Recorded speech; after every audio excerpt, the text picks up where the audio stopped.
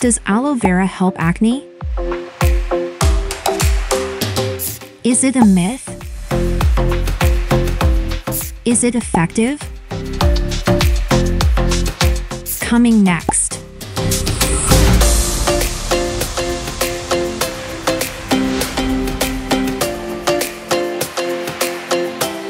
In this video, we'll cover the science behind aloe vera, whether it can help treat acne, four different ways to use it, potential side effects, as well as 10 little known aloe vera facts. So let's get in.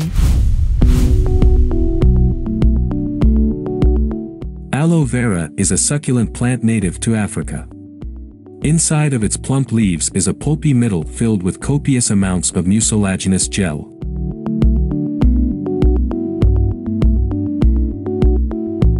The clear gel inside of aloe vera leaves is used topically to soothe skin that has been burned or irritated, and some people use it to treat acne. There is also a school of thought that believes taking aloe vera orally can be beneficial for hydrating and healing your skin from within, but there is far less evidence to substantiate that idea.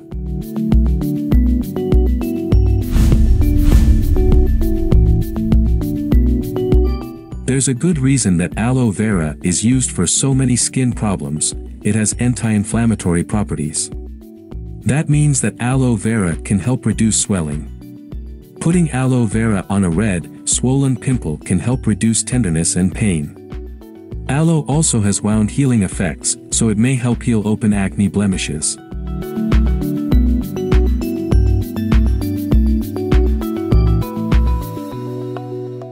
At some point, you may have put aloe gel on a sunburn. Just as aloe soothes the sting of sunburn, it can also soothe a host of other skin irritations, including acne. If acne treatments are leaving your skin dry and irritated, using aloe vera gel or a moisturizer containing aloe can be helpful. If this makes your skin more comfortable, you might be able to continue using your acne medications without experiencing the drying side effects.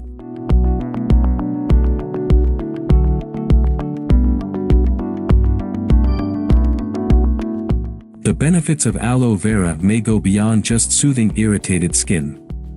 Some research has shown that aloe vera may boost the effectiveness of acne medications.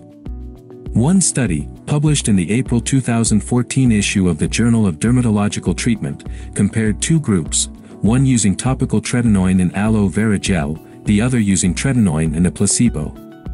The group treated with tretinoin and aloe vera had less redness and fewer pimples than those treated with tretinoin alone. Because acne is, in part, caused by bacteria called Propionibacteria acnes, it's speculated that aloe may play a part in reducing these bacteria.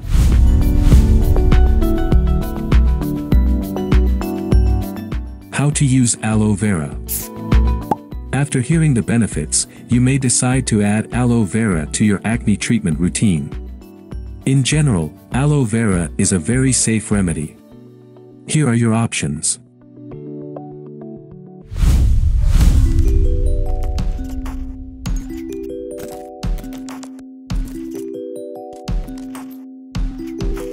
This is the purist's remedy.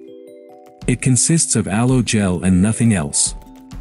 Because aloe is a known antioxidant, as well as an anti-inflammatory agent and antibacterial substance, you can use it full strength on your skin as a strong acne fighter. The best part about using pure aloe gel for spot treatments or on your entire face is that you can leave it on all night. Just be sure to rinse it off in the morning. Aloe vera, cinnamon, and honey have all earned their reputation as acne fighters. For a mask that smells great and works like a charm at fighting acne bacteria, combine 4 tablespoons of your favorite organic honey with 2 tablespoons of aloe gel. Toss in about 1 2 tablespoon of organic ground cinnamon and mix well. Apply to your acne problem areas or to the entire face and leave on for about 7 to 12 minutes. Rinse thoroughly and pat dry. Apple cider vinegar contains malic acid, which works to exfoliate dead skin cells away, help return the correct pH level, and kill any bacteria present on the skin. Mix a tablespoon of aloe gel with a 1 2 teaspoon, each, of purified water and apple cider vinegar. Apply the resulting mixture to your face with a swab or cotton ball. Give it about 20 minutes to dry and wash clean. You might want to skip this treatment if your skin is very sensitive. This one really packs a punch in the fight against acne. Combine about 1 3rd cup of coconut oil, cane sugar, and aloe gel together and mix them well. You can store the scrub in your refrigerator and use it daily. Apply the scrub to your face and rinse completely after a minute or so. Coconut oil is also an antibacterial so you're getting a double dose of healing.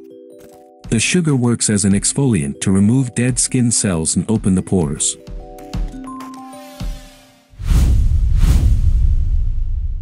Aloe vera risks and side effects. There's also some evidence that ingesting high levels of aloe vera could hurt your body and put you more at risk for certain types of cancer.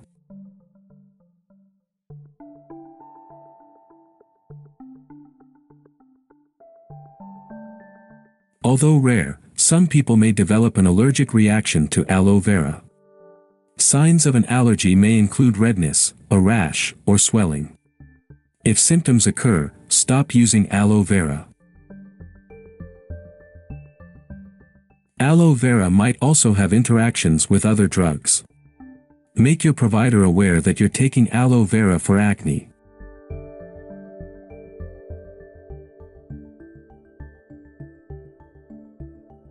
Before you use aloe vera, do a patch test on your wrist, behind your ear, or on your upper arm to test your skin. If redness develops then don't use on acne.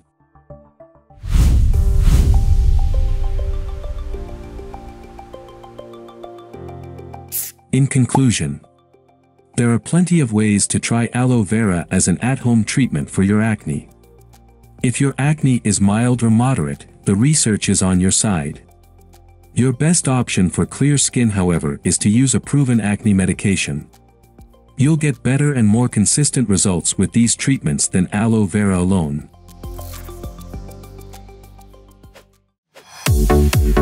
Ten little known aloe vera facts. The aloe gel is 96% water, which enables the plant to survive in arid regions. The aloe leaf contains latex that is effective as a laxative. However, ingestion of large doses of latex in aloe can be toxic. Egypt's Queen Cleopatra was said to apply aloe vera gel to her skin as part of her beauty ritual.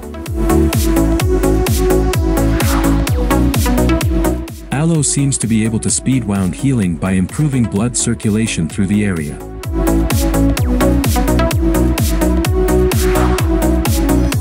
Aloe vera contains cooling properties similar to menthol. This is perhaps the plant's best known quality. Aloe gel appears to have properties that are harmful to certain types of bacteria, furthering the argument for it as a wound healing agent. Aloe vera plants are hardy and long-lived. Wild species have been known to survive for 100 years. Aloe vera gel can be a great source of hydration when used in hair.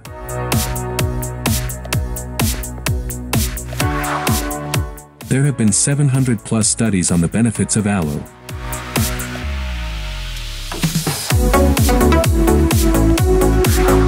Aloe is considered an adaptogen, or substance that stimulates or strengthens the body. Thank you for watching this video. Please click like, share, and subscribe for more awesome content.